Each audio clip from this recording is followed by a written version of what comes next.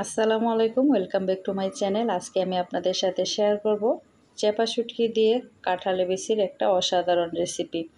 এখন চলতেছে কুরবানির ঈদ, আর এই ঈদে কিন্তু কম বেশি প্রত্যেকের বাড়িতেই মাংস থাকে।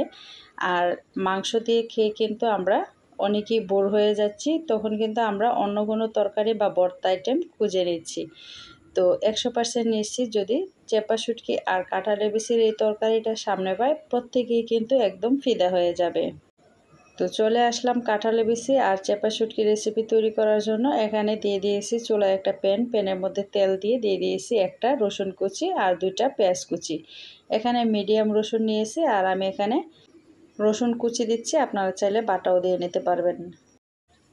জাস্ট পেঁয়াজ আর রসুনটা নরম হওয়ার পরে এখন আমি দিয়ে দিচ্ছি হচ্ছে এখানে হাফ চা চামচ পরিমাণ হলুদ গুঁড়া, হাফ চা চামচ ধনিয়ার গুঁড়া আর এক চা চামচ পরিমাণ নিয়ে নিয়েছি লাল মরিচের গুঁড়া, স্বাদ মতো লবণ। অল্প একটু পানি দিয়ে গুঁড়া মশলাটাকে আমি আগেই মিশিয়ে নিয়েছি, তারপরে দিয়ে প্যানের মধ্যে আমি কষিয়ে নিয়েছি। কিছুটা কষিয়ে নেওয়ার পরে দিয়ে দিচ্ছি আগে থেকে ধুয়ে রাখা পাঁচটা বাঁশপাতা চেপা শুটকি আর চেপা শুটকিটা অবশ্যই হালকা কুসুম গরম পানিতে ধুয়ে নিতে হবে। তো এখন আমি শুটকিটাকে মশলার সাথে কষিয়ে নিব। তো বেশ কিছুক্ষণ কষিয়ে নেওয়ার পরে যখন তেলটা মশলা থেকে সেরে যাচ্ছে এই পর্যায়ে এসে আমি দিয়ে নিচ্ছি এখানে কাঁঠালের বিচি। আর কাঁঠালের বিচিটাকে আমি চার টুকরো করে কেটে নিয়েছি, লম্বালম্বি টুকরো করে নিয়েছি। আপনারা আপনাদের পছন্দ মতো সাইজ করে কেটে নেবেন।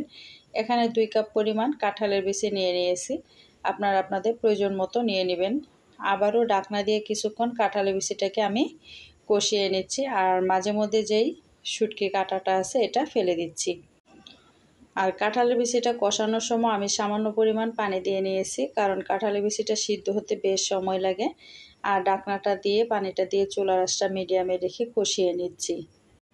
চেপা শুটকি আর কাঁঠালের বিচিটাকে আমি এভাবেই কষিয়ে নিব আর একটু দেখে নিব যে কাঁঠালের বিচিটা কেমন সিদ্ধ হয়েছে।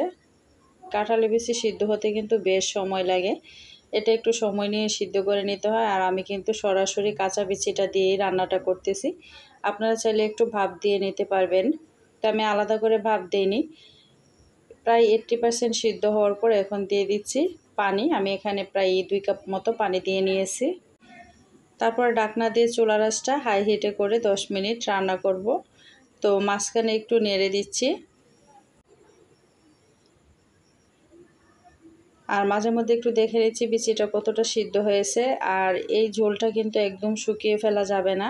কারণ কাঁঠালের বিচিটা নামানোর পরে যখন ঠান্ডা হবে, এটা এমনিতেই ঝোলটাকে অনেকটা টেনে নেবে। তো মাখা মাখা ঝোল থাকা অবস্থায় কিন্তু নামাতে হবে। যারা জীবনে কখনোই চেপা শুটকি খাননি, তারাও যদি চেপা শুটকি আর কাঁঠালের বিচির এই তরকারিটা দিয়ে ভাত খান, তারাও কিন্তু একদম তৃপ্তি করে খেয়ে নেবেন। তো একদম হান্ড্রেড পারসেন্ট সিদ্ধ হয়ে গেছে কাঁঠালের বিচিগুলা। আর যতটুকু জোল আছে আমি এই পর্যায়ে রেখে দিব। এর চেয়ে বেশি আর জোলটা শুকাবো না। রান্নাটা কিন্তু রেডি এখন জাস্ট নামিয়ে সার্ভ করে নেওয়ার পালা। আপনারা চাইলে এখানে কাঁচামরিচ দিয়ে নিতে পারেন, তবে আমি কিন্তু জালটা একবারেই দিয়ে নিয়েছি। আর এই রান্নায় জালের পরিমাণটা একটু বেশি হলেই ভালো লাগে। তো কেমন হয়েছে? কাঁঠালের বিচি দিয়ে চেপা শুটকি রেসিপি বা চেপা শুটকি দিয়ে কাঁঠালের বিচির আমি তো আর অপেক্ষা করতে পারলাম না। আমি সবার আগেই খেয়ে নিচ্ছি। এই কাঁঠালের বিচি আর চেপা শুটকি তরকারিটা দিয়ে আশা করি রেসিপিটা ভালো লাগবে। ভালো লাগলে চ্যানেলটা সাবস্ক্রাইব করে দিবেন।